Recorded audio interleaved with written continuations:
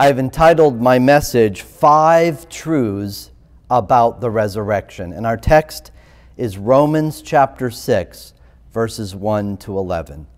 But before we hear from God's word, let's pray and ask his help in understanding it. Father, this is your word, and we ask that those who believe on Jesus Christ hear it today in their ears proclaimed, that they might be built up in the grace which is in Christ Jesus, and that those who do not know Jesus savingly, those who do not trust in him as he's offered in the gospel for their salvation, might turn in faith and believe. And as we all hear the word, Lord, let us be reminded that you are the one who opens hearts for us to hear, to receive, and to respond. And we ask this in Christ's name with thanksgiving. Amen. In Romans chapter 6, verses 1 to 11, we read, What shall we say then? Are we to continue in sin that grace may abound? By no means. How can we who died to sin still live in it? Do you not know that all of us who have been baptized into Christ Jesus were baptized into his death?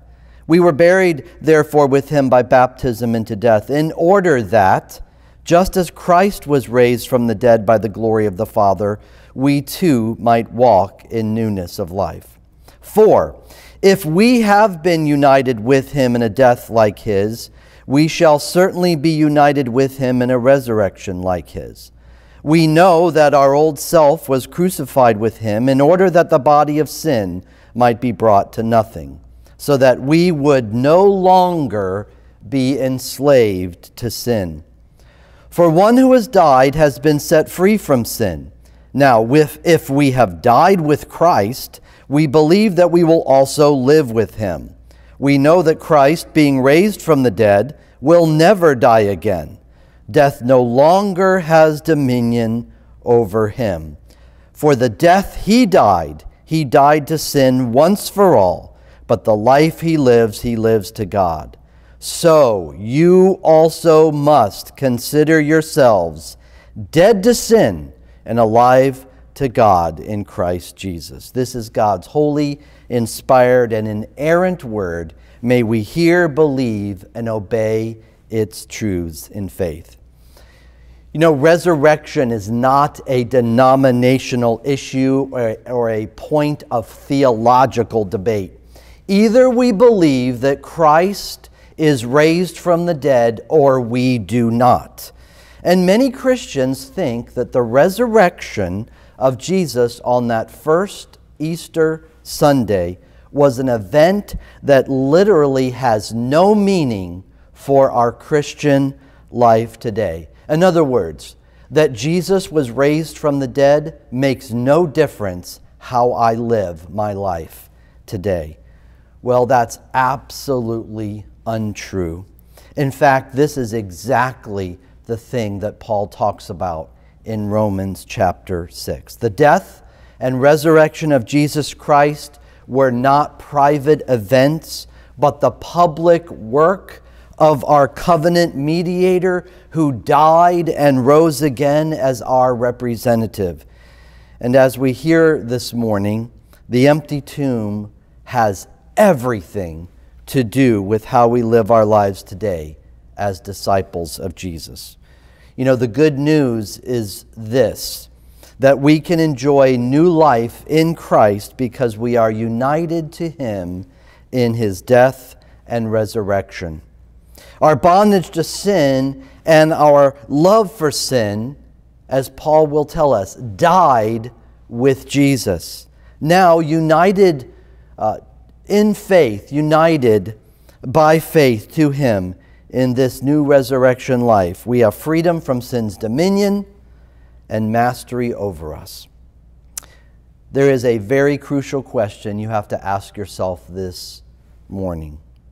Do you consider yourself dead to sin and alive to God in Christ Jesus? Do you consider yourself dead to sin and alive to God in Christ Jesus?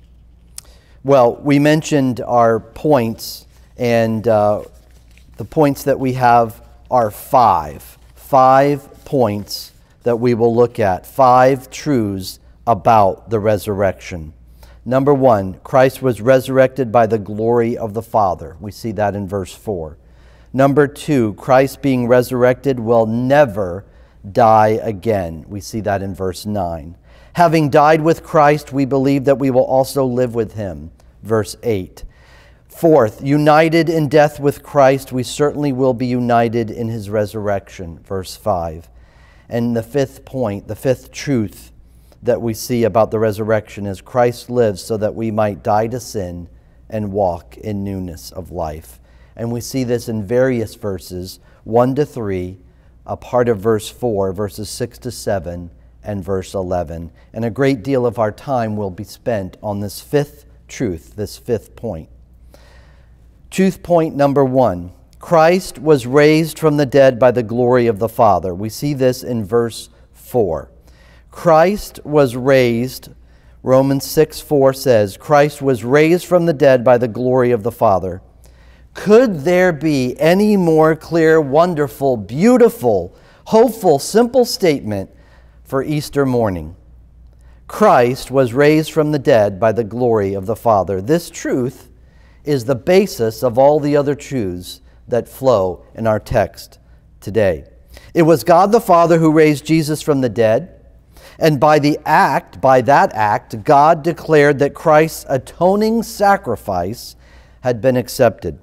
The penalty for our sins was paid in full. The resurrection was God's declaration that He had canceled the record of debt that stood against us with all its legal demands.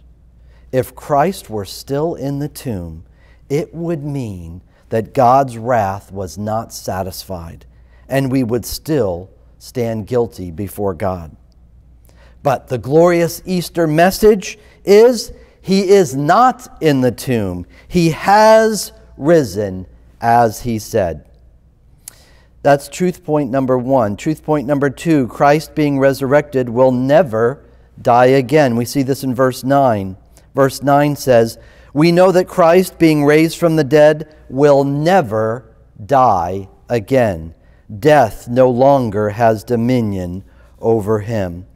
Here, Paul is emphasizing that as a result of Jesus' resurrection, Jesus cannot die again.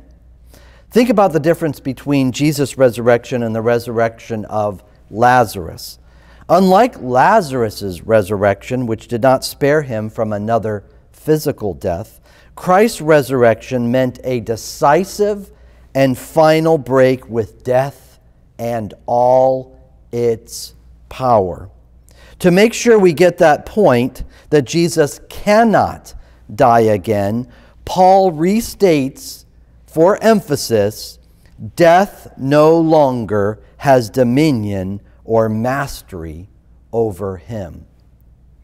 But what difference does this make for us, Jesus followers? When you follow the Apostle Paul's argument in Romans 6, you find that our union with Christ, that our spiritual connection to Him, makes what happened to Him true for us as well. That's truth point number two. Truth point number three. Having died with Christ, we believe that we will also live with Him. That's verse 8. Verse 8 says, Now if we have died with Christ, we believe, we believe that we will also live with him. That's tied right in to the next truth point, truth point 4. United in death with Christ, we certainly will be united in resurrection. Having died with Christ, we believe we will live with him, restated in the next verse, which is our verse 5. That is the truth point number 4 in verse 5. For if, if we have been united with him in a death like his, we shall certainly be united with him in a resurrection like his. Having died with Christ, we will live with him. United with Christ in death, we certainly believe in the uniting of us with him in resurrection. But how? But how are we united to Christ? Well, this union or connection to Christ comes through faith. That union with Christ means that by faith we are united to the resurrected Son of God so that what is true of him is true of us. There are two words that summarize our union with Christ representation and participation. Representation and participation. Representation and participation means that Jesus represents us. Jesus is the second Adam. He is our federal representative, not like Adam who failed, the first Adam who failed, but our second Adam succeeded and has won for us that union with Him and a new status, a new humanity, new life in Him. And there is no union with Christ without crucifixion and death. Paul says that if we have been united with Him, look at the text again, in a death like His, that is, His death is emblematic of our death in Him, he then says, then we shall certainly be united with him in a resurrection like his. Do you see the implication? The event that took place 2,000 years ago, the empty tomb, has everything to do with us today. Jesus was raised, and we, united to him in faith, will be raised as well. We died with Christ, we will be raised with Christ. So then, Jesus' victory over death is a victory in which we share because we are united with him in faith. What a comfort! What a comfort this is when we face the sting of death. Because of our connection to Jesus Christ, the one who died and rose from death, we can be confident that death will one day have no mastery over us. Hold on to that encouragement the next time death confronts you. So, verse 8 Now, if we have died with Christ, we believe, we believe that we will also live with him. Verse 5 For if we've been united with him in a death like his, we shall certainly be united with him in a resurrection like his. These two verses, verses 8 and 5, present a picture of our union with Christ. And notice the language we believe and we shall certainly. This is not a secondary truth, but a primary truth. Uh, our union with Christ extends from eternity to eternity. The roots of union with Christ are in divine election, eternity past. The basis of our union with Christ is his redemptive work in time, and the actual union with Christ is established with his God's people as we believe in him by faith. We shall be raised with Christ and glorified with him eternity future. That is what the gospel hope of Jesus' resurrection brings to us. And then, as I mentioned, the last point we'll spend a little bit more time on, and it is truth point number five. Point number five. Truth number five Christ lives so that we might die to sin and walk in newness of life. And Paul covers this in verses 1 to 3, a part of verse 4, verses 6 to 7, and 11. But let's begin in verse 1. What shall we say then? Are we to continue in sin that grace may abound? Verse 2 gives us the answer dramatically and emphatically. By no means. You know, Paul preached hard about the freeness of God's grace. He emphasized it because so many people he preached to had a legalistic view of salvation and works righteousness. So he preached about God's free grace. So what they heard is that God loves to forgive. So why not give him more to forgive? After all, if forgiveness is guaranteed, we can sin as much as we like. Well, that's just absolutely wrong.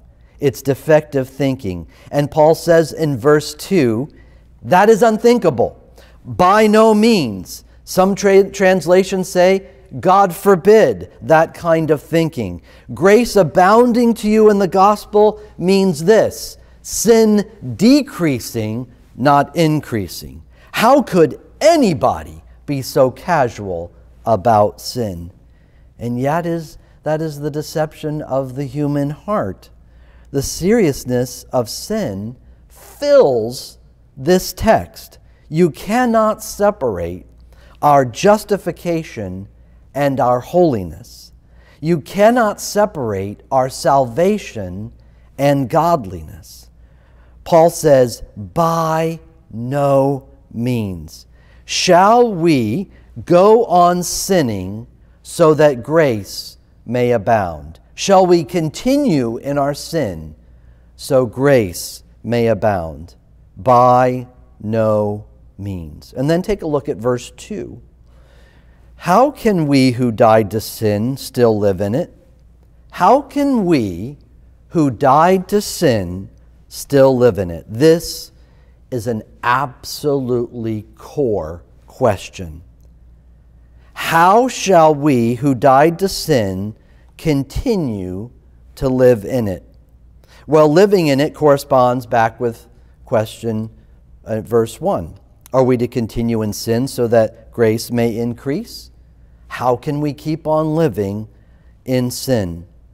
The idea in these two phrases, continue in verse 1 and live in verse 2, is that when we have become united with Christ in his death, we cannot go on with an unchanged pattern of sin in our lives. Something changed. Something has to be different. Notice that what Paul denies is not that you can never commit a sin. Hear that carefully. Paul does not say we suddenly become sinless, but you cannot live in it. Paul says, think about it for a minute. Think about who you are. If you will think about who you are in Jesus Christ, you will answer the question and you will answer it with an emphatic no. Of course, we shouldn't go on sinning that grace may abound because of who I am in Christ. How shall we who died to sin continue to live in it? Paul is telling us that continuing in sin, living in sin, is a contradiction of who we are, our identity our new identity in the second Adam. When a person dies, the former relationships are changed permanently. We know that in life. When we lose a loved one or a friend, that relationship is forever changed by death. It cannot continue the way it once was. How much more spiritually? with sin. We cannot have the same relationship with sin that we once had. So the question how shall we who died to sin still live in it? There is a no answer to this how question. We can't live in sin if we died to it. And again, Paul is not saying that we will be sinless or that somehow we ought to crucify ourselves or die, but rather that we have died because of our union with Christ. He's telling us a truth, something that is already true, not something we do, but something that's already true, something that happened to us when we believed on the Lord Jesus. That's verses 1 and 2 of point 5. Then we move on to verse 3 and 4. Do you not know that all of us who've been baptized into Christ Jesus were baptized into his death? We were buried, therefore, with him by baptism into death. So Paul mentions here baptism by way of identification, not by mode, uh, not by when, how, where, when, those kind of questions about our baptism, our physical baptism. He's talking about our spiritual baptism. Paul mentions baptism by way of identification. Death and burial, joining is in view, united to Christ by the ministry of the Holy Spirit. Think about your baptism. Your baptism symbolized what union with Christ actually brings about. You must identify your new life in Christ with a breaking of your old life. Remember the theme of, of Romans 6 death to sin, dead to sin, and the breaking of the dominion of sin and the power of sin. No longer is sin master over you. Christ is your master. No longer is sin your Lord. Christ is your Lord. And that is all symbolized in baptism. You died to your old life and are raised in union with Christ to newness of life. You're baptized into Christ, into his person. You're bound with him. You're in covenant with him. You're united with him. You're a beneficiary of his work. You're baptized into his death, and you are raised to new life. So, you should be so closely identified with Christ in your new life as his disciple. Your baptism should remind you of who and whose you are. Galatians 3:27 says, "For as many of you as were baptized into Christ have put on Christ." That's speaking of our union with Christ in faith.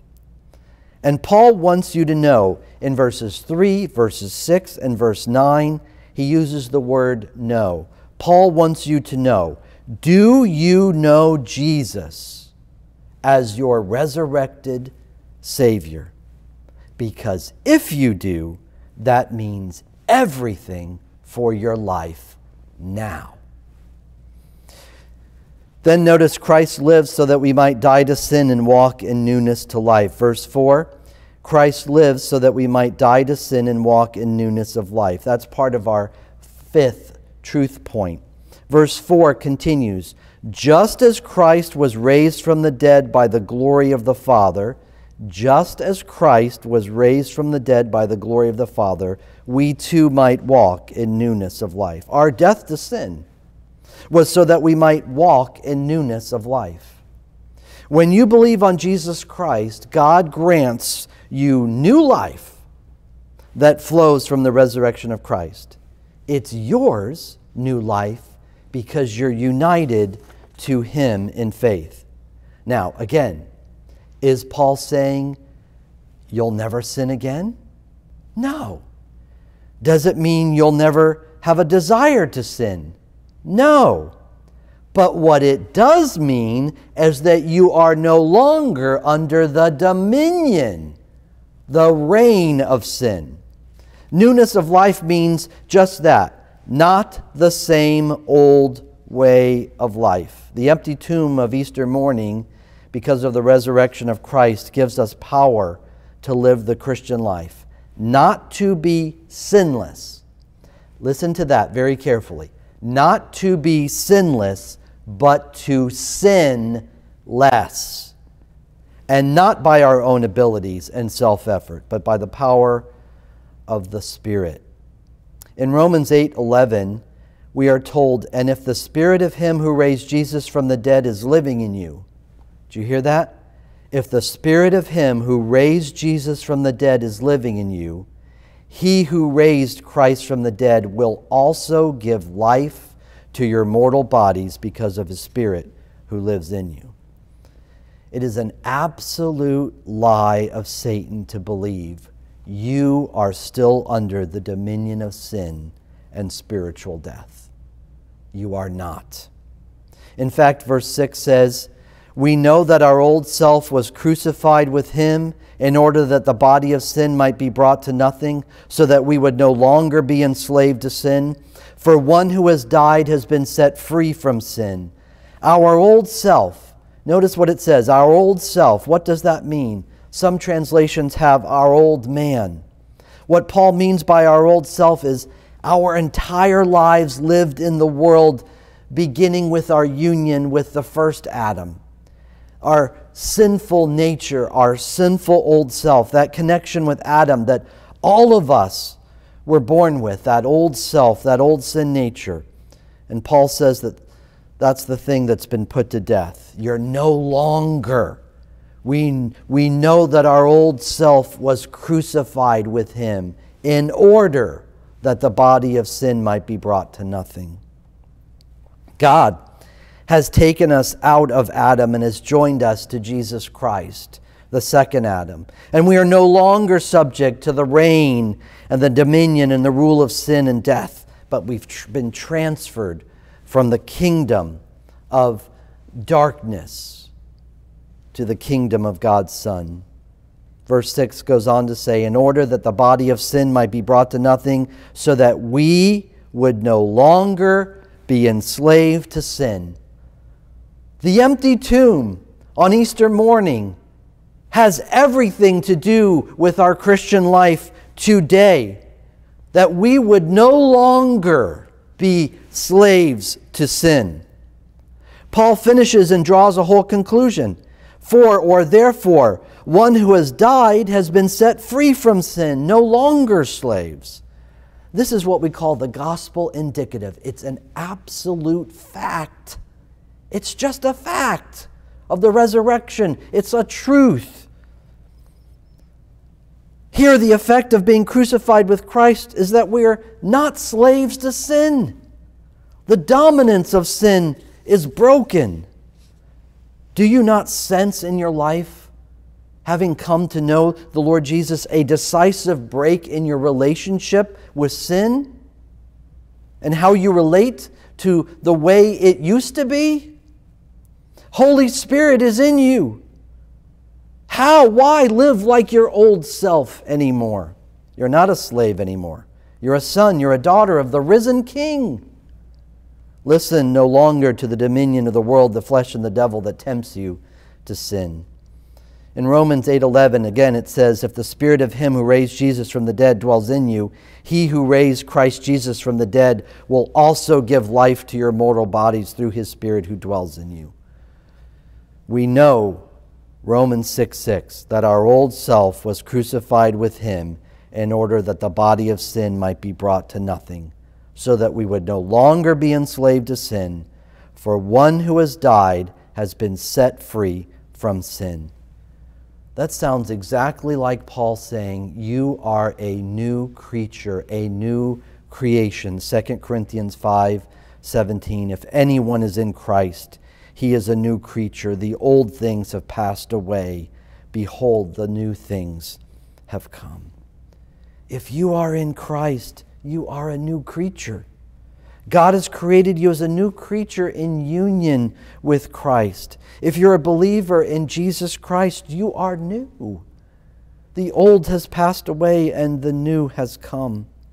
You know, Paul is telling you something that is an absolute truth that has already been done for you. You need to pause and reflect on that. A disciple of Jesus should no more want to think about going back to their old life than adult to childhood, a married man to bachelorhood, and the prisoner who's been set free back to the jail cell. You are no longer who you once were. In union with Christ, the old is crucified, the new has come. And notice the pairing of dead and alive in verses 10 and 11. For the death he died, he died to sin once for all, but the life he lives, he lives to God. So you also most must consider yourselves dead to sin and alive to God in Christ Jesus. There's this cadence in these two last verses, verses 10 and 11. What was dead and what is now alive. We've heard this throughout our text. What is dead and what is now alive. Verse 10 for the death he died, he died to sin once for all. But the life Jesus lives, he lives to God. This perfect, completed, acceptable sacrifice of Jesus is illustrated throughout the book of Hebrews. In Hebrews 7:26, it says that for it was indeed fitting that we should have such a high priest, holy, innocent, unstained, separated from sinners, exalted above the heavens. He has no need, like others, the other high priest to offer sacrifices daily, first for his own sins and then for the people. And then it says, since he did this once for all when he offered up himself. That's exactly what verse 10 says. For the death he died, he died to sin once for all. That same thing we read in, in Hebrews 9 12 to 14. Jesus entered once for all into the holy place to offer himself his own blood. In Hebrews 9 26 to 28, Jesus appeared once for all at the end of the ages to put away sin by the sacrifice of himself. Hebrews 10:10 10, Jesus offered his body once for all. And then it ends with but when Christ had offered for all time a single sacrifice for sins verse 12 of chapter 10 of Hebrews. He sat down. It is finished. Nothing can be added. For the death he died, he died to sin once for all, but the life he lives, he lives to God. You know, verse 11, it was hard for me to believe, is the first command in the book of Romans. All the way into chapter 6, verse 11 of chapter 6 is the first command or imperative in the book of Romans. I could hardly believe that myself. And what an important verse it is. Verse 11 says, So you also must consider yourselves dead to sin and alive to God in Christ Jesus. It's interesting, this first imperative or command, it literally doesn't ask us to do anything except believe what's already been said. You are to believe that you are, in fact, dead to sin. The Holy Spirit's initial and primary method of helping us fight sin and live as servants of God, it doesn't start with a command to live right. It's not a command to hop off our couch and get to work. It's a command to what? What does verse 11 say? Consider. We might say it another way reckon or recall or remember or realize. What? To see ourselves as who we are now in Christ. It says, dead to sin, yet alive in union with Christ. It's a command to remember and then to believe what we've remembered as we face day to day temptation to sin remember, consider, realize you are dead to sin and alive to God in Christ Jesus. And Paul uses this language 19 times. 19 times in his letters, he asks us to think, to recall, to remember, to reckon our new status, our new identity in Christ. And as we move to conclusion, let me just remind you what Paul's telling us. This is preventative theology, not corrective theology. Right now, this Easter morning, I want you to reflect, to think, to reckon, to consider, and do it now and do it regularly. Keep on, as Paul says, counting yourself dead to sin on the one hand, but alive to God in Christ Jesus. With an ounce of prevention, Paul is seeking to counter our defective thinking.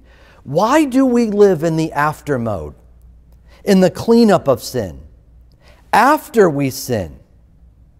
Why can't we now remember, recall, and think before we sin? Let it be preventative, not corrective, and say to ourselves before we're tempted to sin, This is not who I am in Christ. Dead to sin means you must think of yourself as dead to the pervasive love and ruling power of sin in your life. So, one last question based on verse 11 Do you consider yourself dead to sin and alive to God in Christ Jesus? Union with Christ is what we've been talking about the very central truth of the whole doctrine of salvation not only in its application, but its once for all accomplishment in the finished work of Christ. The resurrection of Jesus Christ is the source of our justification and it's the source of our sanctification. The empty tomb has everything to do with how we live today dead to sin, alive to Christ. Jesus' resurrection for the believer is a fountain of new life.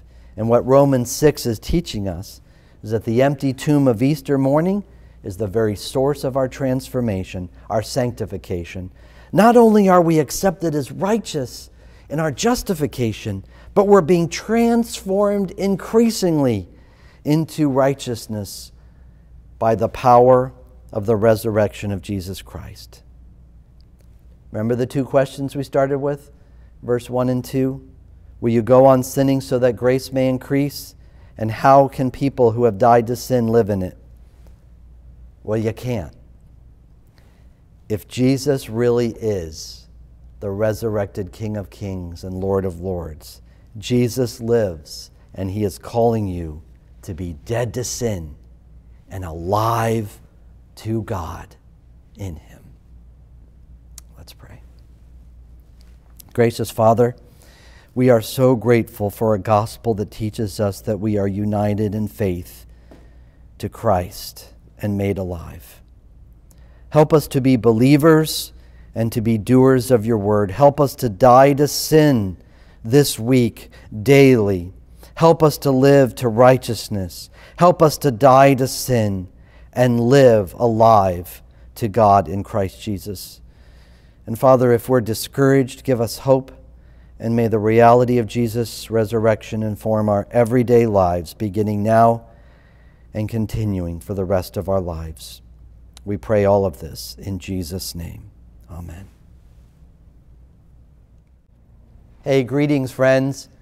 I hope you enjoyed the message you just heard, the hopeful message of Easter morning and the empty tomb and what it means for us today. And we also would love to invite you any Sunday to join us for worship at Faith Presbyterian Church of Merritt Island. If you want to hear more messages just like this, join us on our YouTube channel, and I'll see you again.